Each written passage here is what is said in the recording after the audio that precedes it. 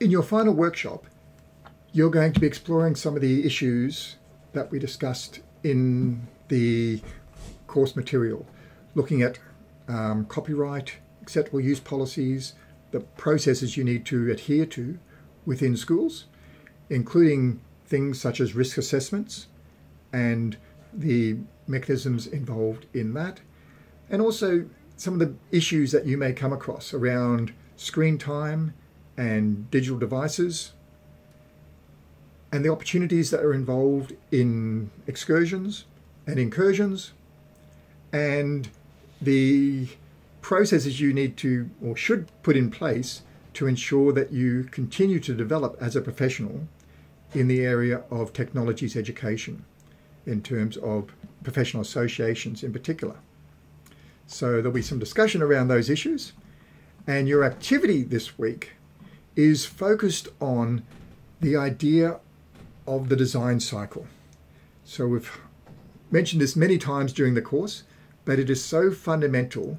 The idea that we want students to fail and then work through that design cycle several times as they slowly, progressively improve to a point where they gain success.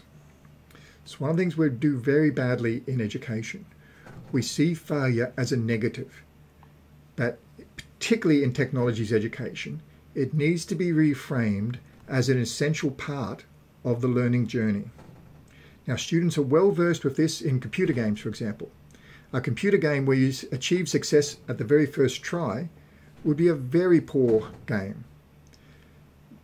Computer games are designed for students to fail many times before they eventually achieve success. That's why they're engaging, that's why they're so effective in learning. Of course, students have to learn how to actually achieve success in that game. Technologies education uses the same processes.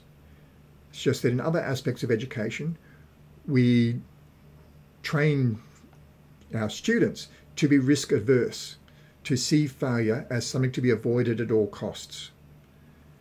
So, the idea this week's exercise is around paper planes. You're to design and build a paper plane to achieve various outcomes. Your tutor will set the outcomes. It may be to fly the furthest. It may be to stay in the air the longest. But there are dozens of other possible outcomes that you'll work with your tutor to explore. Other things that we could measure that we could try to achieve through making paper planes.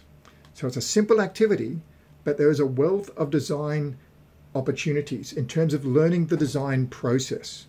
Now, learning about making paper planes is relatively trivial. Yes, there's some great cross curriculum learnings with science and about aerodynamics and all the rest.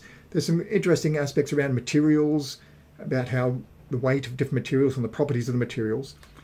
But by far the best learning from a paper plane making activity is that is the processes going through the investigation, the design, the building, the evaluation, and then iterating that.